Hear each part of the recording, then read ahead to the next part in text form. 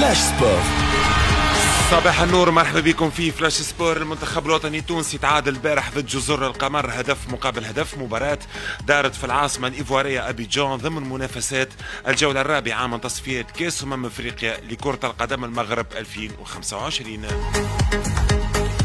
جزر القمر افتتحها للنتيجة دقيقة 49 عبر اللاعب فايز سليماني ثم عدل ياسين مرياح للمنتخب الوطني دقيقة 68 هاو نسمعوا المدرب فوزي البنزرتي في ندوة صحفية بعد المباراة Ma conception dans le jeu, j'essaie toujours de, de, récolter le maximum de points à chaque match.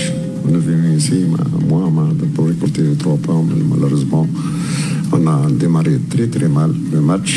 On a perdu pratiquement 20-25 minutes. On n'était pas mal de nous-mêmes.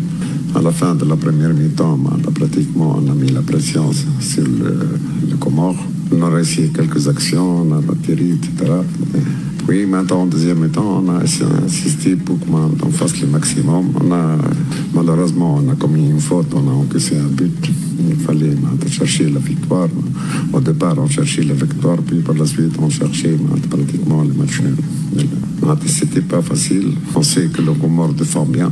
Ce qui s'est passé, ça, en Tunisie, pratiquement, c'est une transition rapide. Ils nous ont marqué un but. Et par la suite, on a essayé de chercher la victoire. Et malheureusement, on a eu des occasions. On ne les a pas concrétisées. طبعا كان هذا كلام فوزي البنزرتي بالفرنسية يتحدث لأنه البارح ندوة صحفية طبعا موجهة للصحفيين الأجانب مع تحياتنا الكبيرة لرفقي أبو ستة مبعوث مؤسسة الإذاعة التونسية اللي كان أمن لنا أيضا البارح في المباشر تصريح خاص للمدرب فوزي البنزرتي. يقول فوزي بنزرتي البداية متاعنا كانت خايبة حبينا على آه، ثلاثة نقاط وجينا من أجل ثلاثة نقاط. يقول ضيعنا الدقائق الأولى من المباراة ثم تحسنا في ال 25 دقيقة. عملنا شوط ثاني أيضا آه، عملنا فيه كرة مزيانة في أغلب فتراته. يقول إنه لعبنا ضد فريق ممتاز عنده تحولات سريعة يدافع بشكل ممتاز خاصة يقول قلقنا في تونس جزر القمر. يقول ما كانش من السهل إنه نلعبوا آه، وننتصروا ضد الفريق هذا. لكن آه، يأكد مرة أخرى فوزي بن زرت يقول جينا من أجل الانتصار وفي الآخر اكتفينا بالتعادل ولعبنا من أجل التسجيل ومنتخبنا كان ضيع بعض الفرص فرص وتحسن طفيف نوعا ما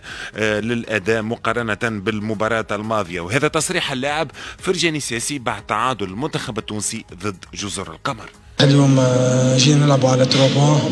ما عرفناش الحظ باش نربحوا. كان اوقاتهم خير منا كان أوقات إحنا خير منهم كنا نجموا نربحوا اليوم. آه، تأخرنا في النتيجة وبعد رجعنا حاولنا كنا قرب باش نربح الماتش. لكن في الآخر déplacement كيما هكا معناها ما تربحش ما تخسرش. في الآخر بالكل إحنا تو مازلنا الأولانيين إحنا في ال groupe كل شيء بدينا إحنا إن شاء الله السنة الجاي الماتش الجاي إن شاء الله نحضر روحنا كما يلزم. ونحاولوا نصلحوا الأخطاء اللي عملناها وإن شاء الله بإذن الله المنتخب إن شاء الله في المباراة الجاية يظهر يعني مردود أحسن إن شاء الله. الترتيب في المجموعة الأولى تونس في الصدارة سبع نقاط. جزر القمر الثاني ست نقاط. غامبيا الثالث خمس نقاط. مدغشقر المركز الرابع زوز نقاط. مازالوا زوز مباريات للمنتخب التونسي ضد مدغشقر خارج الوطن وهنا في تونس ضد المنتخب الغامبي وزوز مقابلات في شهر نوفمبر. وحسابيا المنتخب الوطني يكفيه ثلاث نقاط لضمان التأهل لأمم إفريقيا سواء في المركز الأول أو الثاني. ونواصل مع التصفيات الإفريقية أبرز النتائج الحاصلة البارح؟ ملاوي ينهزم ضد السنغال هدف مقابل صفر. السودان ينتصر على غانا اثنين مقابل صفر. تعادل الكونغو مع آه، جنوب إفريقيا هدف مقابل هدف. هزيمة المنتخب الموريتاني ضد المنتخب المصري هدف مقابل صفر. انتصار سيراليون على الكوديفوار بطل إفريقيا هدف مقابل صفر. وهزيمة إفريقيا الوسطى ضد المغرب أربع أهداف مقابل صفر. في المقابل كما تعرفوا كما حكينا من البارح إلغاء مباراة ليبيا ونيجيريا. نيجيريا بعد انسحاب نيجيريا اللي عبرت على احتجاجها على ما اعتبرته سوء معاملة من الجانب الليبي. عند وصولهم للمطار في ليبيا في انتظار قرار الاتحاد الإفريقي لكرة القدم سواء بإعادة المباراة آه، بتأجيلها لموعد لاحق بهزم منتخب ليبيا أو هزم منتخب نيجيريا. تبقى كل الاحتمالات مطروحة. المنتخبات اللي ضمنت لحد الآن تأهلها للكان مصر الجزائر أنغولا الكونغو الديمقراطية الكامرون أوغندا بوركينا فاسو والسنغال.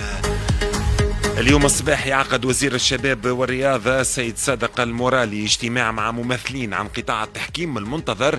آه، يتم بعد الاجتماع الاتفاق على فك الإضراب اللي قاموا به الحكام الأسبوع الماضي وقاطعوا مباريات الرابطة المحترفة الثانية لكرة القدم للمطالبة بمستحقاتهم المادية. الاجتماع مهم جدا لضمان حضور الحكام في مباريات الجولة الخامسة لبطولة الرابطة المحترفة الأولى لكرة القدم.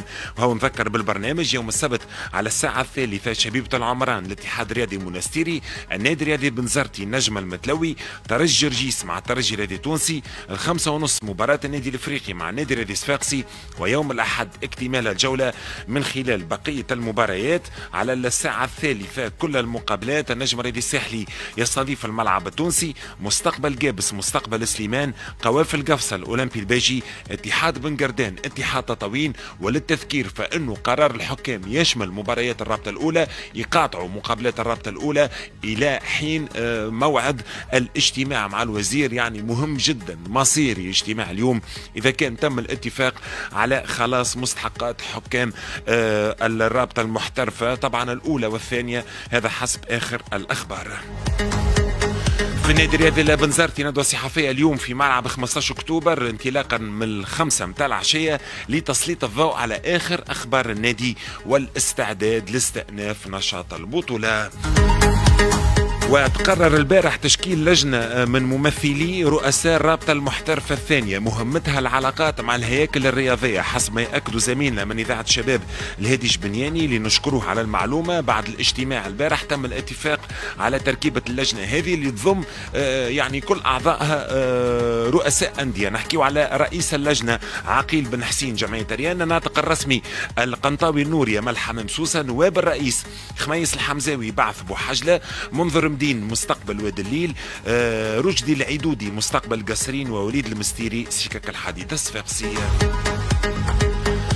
كرة السلة تتلعب اليوم مقابلات الجولة السادسة من البطولة المحترفة أكابر الستة متاع العشية. كل المباريات النجم الرياضي الرادسي يواجه نجم حلق الواد الدالية الرياضية بقرنباليا الاتحاد الرياضي المنستيري النجم الرياضي الساحلي مع فريق النادي الإفريقي نادي كرة السلة بالمهدية مع اتحاد الأنصار والشبيبة القيروانية يستضيف شبيبة المنازه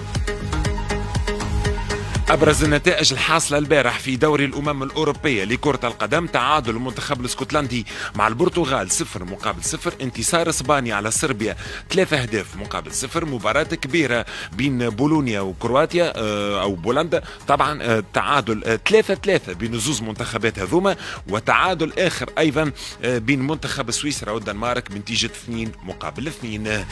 نهاية هذا الموعد الرياضي أجمل تحياتي مهدي عبيد. Flash Sport